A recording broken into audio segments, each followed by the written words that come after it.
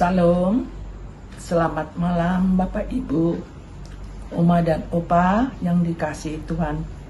Selamat bertemu kembali di malam hari ini dari program saya dan PKRU membaca Alkitab bersama pada malam hari ini tanggal 14 Juli 2022.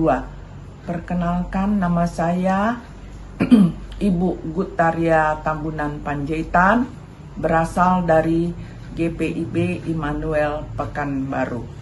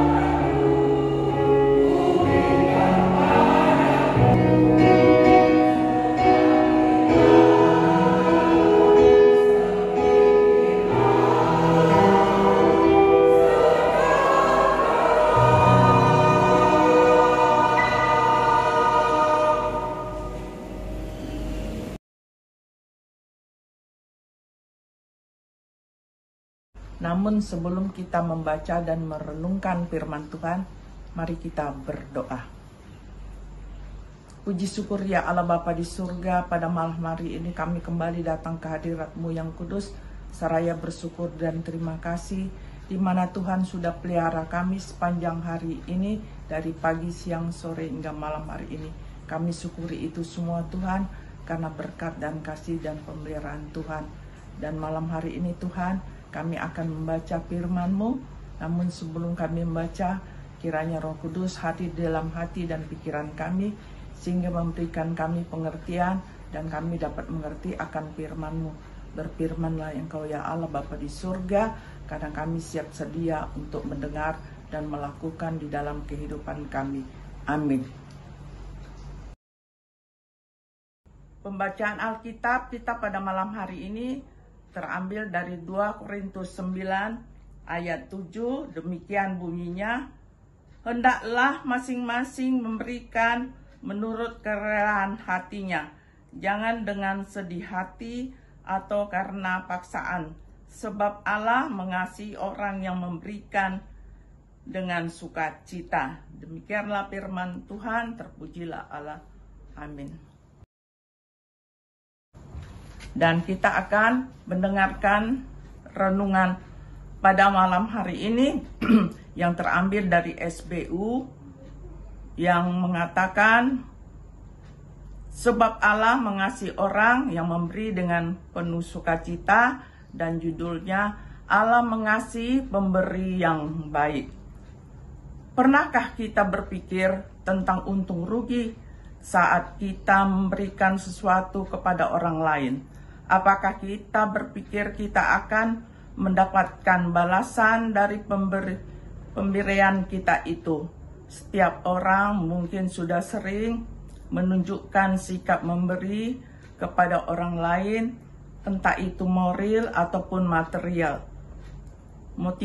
Motivasi setiap orang tentu berbeda, karena setiap tindakan memberi dipengaruhi oleh kepentingannya masing-masing. Rasul Paulus dalam suratnya mengingatkan jemaat di Korintus untuk mengenal motivasinya saat memberi bantuan kepada sesamanya. Motivasi seseorang sangat menentukan suasana hati saat memberi bantuan. Jika motivasi yang dimiliki itu adalah dengan kerelaan dan kesungguhan, maka seseorang akan merasakan sukacita di dalam dirinya.